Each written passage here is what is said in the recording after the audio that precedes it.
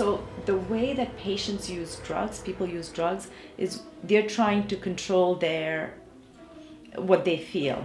So sometimes they'll use alcohol for a certain mood and then they'll use cocaine for another mood. So when you talk to patients, the polysubstance users, they're using the drugs to really regulate how they feel. So they'll take cocaine. It'll give them a high. It'll give it'll be too active for them. Then they'll modulate that with alcohol. And then the alcohols might maybe a little too much for them. They might give themselves some marijuana. So it's very logical of how people use drugs. And what they're really doing is they're mo- modifying their neurotransmitters. So if you talk to them and you're really trying to heal them, that's what you need to do is figure out what are they trying to um, modulate.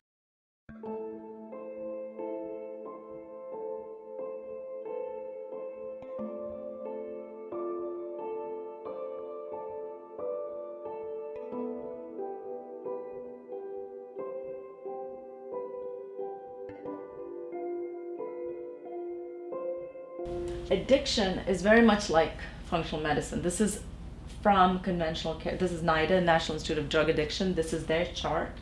And it's very much like what you would see a functional medicine chart would look like. They're saying that biology and genes plus the environment affects the patient, their drug of choice, and the drug affects the brain, and the changes in the brain leads to addiction. So it's a very comprehensive model that they have there. What are the brain mechanisms that affect addiction? So drugs alter the way people think, feel, and behave by disrupting neurotransmission. We'll talk in detail about that. So, what happens is it affects the communication between the nerve cells in the brain. And this is a direct quote from NIDA.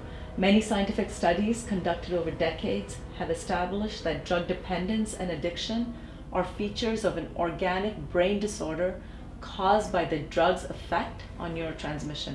So they're now calling drug addiction a brain based disorder. So before, you know, people were talking about willpower, they've changed over the last 20 years to sort of say it's a brain based disorder. So I will talk to you in detail about what those sentences mean. So here you have two nerve cells. The way nerve cells communicate is is through secreting neurotransmitters there is a gap between the nerve cells called the synapse. So you need to have the neurotransmitter, which are products that are made by the sending cell. You can see a signal is coming down by the electric, the electricity, that, that's a signal that's coming down. And that causes release of the neurotransmitter from the vesicles. Once the neurotransmitter is released, it docks on to the receive to the receptor of the receiving cell that propagates the signal. So that is a very important thing that we have to keep in mind because this is what neurotransmission is. This is what is being affected by drugs, by medication, by anything that changes the way our brains function. So ultimately, it's about neurotransmission. So here you have different neurotransmitters. There are hundreds of neurotransmitters. These are the most common ones. Dopamine is the neurotransmitter that gives us the high. It's the reward tra- neurotransmitter. It gives us the motivation to get up. It um, they say pleasure neurotransmitter because it gives the high. Serotonin is uh, is our mood neurotransmitter, and some of these endorphins are for pain.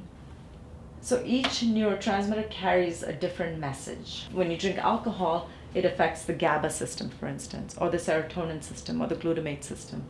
So each drug affects different neurotransmitters affects neurotransmission. So you have different signals in the brain. And ultimately, if it affects the dopamine, which which is your pleasure neurotransmitter, it also affects behavior. So the way that patients use drugs, people use drugs, is they're trying to control their what they feel. So sometimes they'll use alcohol for a certain mood, and then they'll use cocaine for another mood. This is another very important slide. This is what happens at the neurotransmitter level at the synapse. So this is for someone who's using cocaine. This is normal neurotransmission.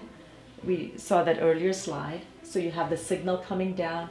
The vesicle uh, puts out these bubbles, these orange balls, which are dopamine neurotransmitters. So the dopamine gets out from the vesicle when this nerve gets the signal. Then it docks onto this receptor. The orange glow means that it's now ready to propagate the signal. Some of the dopamine is degraded in the synapse, sort of eaten up in the synapse, and some of it goes back to the sending cell. So different things can happen to the neurotransmitter. Now, what happens when the patient takes cocaine? Here you have cocaine as the green ball. The patient is taking cocaine. It blocks the uptake, the reuptake of the dopamine. So, in effect, you have a lot of dopamine in the synapse. So, you have two and a half glows, orange glows, meaning that's how much signaling you have.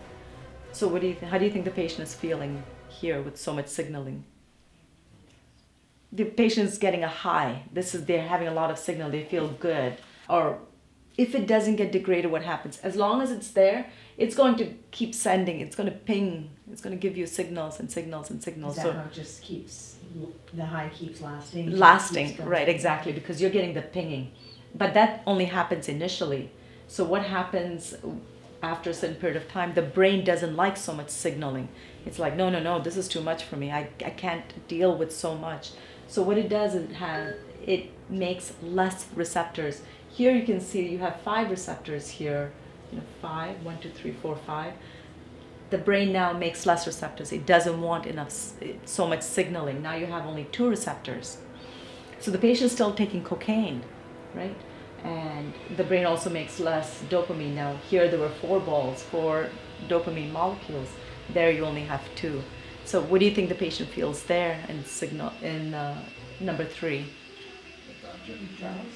No, not withdrawals yet. The patient will tell you, "I feel normal.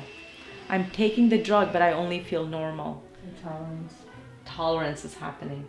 They have less dopamine, they have less receptors, but they feel normal they're not getting a high. So these are the patients who will come to you and you're like, you're using, you're still using, why are you using? Not every patient will tell you this. You really have to ask them. And they'll tell you, well, they'll say, I'm using it to get high.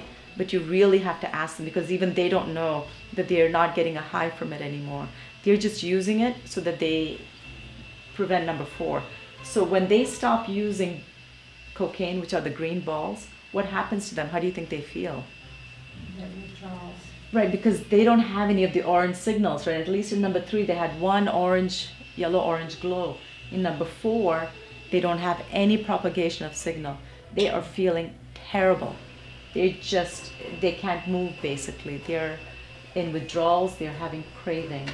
They don't have any dopamine, so every dopamine effect is gone. So when we're asking them to be abstinent, think about how impossible it is for them to be abstinent it's really not fair. You know, we're telling them have willpower, and the family's putting pressure on them, telling them that they're going to be kicked out of the house or whatever other consequences there are. But all, but they're saying, I, I can't. I can't even live. They'll tell you. I've worked in a lot of treatment centers, so they'll tell you, I can't wake up in the morning. I can't get up and go and that's what's happening so what they do is once they get there if they don't have enough treatment they go to number three they just use enough that they don't get high they don't want the high anymore they've lost the vast majority of people have lost the pleasure there's some who do but the vast majority don't want to go back to number two they haven't been in number two for a long time they just want to avoid number four and be number three so this is the whole mechanism if you understand this you will uh, stop blaming people for not being able to say no because they can't. They just want to feel normal. So even patients don't understand this actually. So they blame themselves, society blames them. And if you want to know what that looks like, so this is another kind of scan called a PET scan, and you're looking at the dopamine receptors. So the signal here is in orange and red, so you can see in the control normal patient, you have a lot of these red signals. That means there are a lot of receptors there. The patient is feeling normal, it's, you know, everything's going well for that patient. Here you have a patient who has an addiction. They've been using cocaine, methamphetamines, alcohol, or heroin. You can see there are no receptors there. Right? So it's just, they're not going to feel good. There's nothing you can do to make them feel any better unless we give them back these receptors, give them back the ability to make the dopamine.